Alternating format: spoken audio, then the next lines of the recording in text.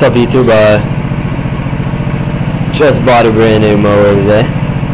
Um, I'm gonna give you guys. I'm gonna give you guys a quick glimpse of it. It's a 36 inch uh, Scag.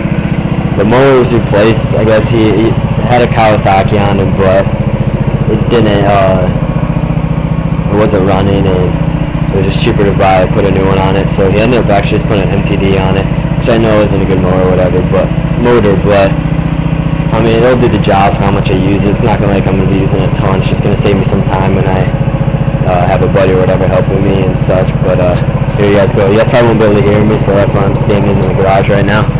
But yeah, here it is.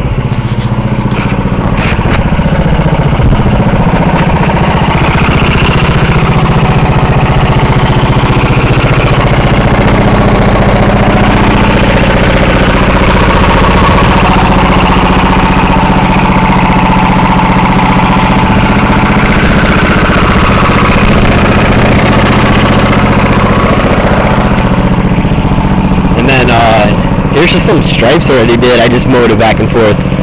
Just went down and back and stripes pretty damn good if you ask me, but this grass is still pretty dry. I mean it hasn't rained for a week now about so yeah, I mean I think that there's just two stripes. This I mean I guess a yeah. It's a dark stripe surprisingly, but yep. Pretty happy. It only cost me 300 bucks, so you can't beat it.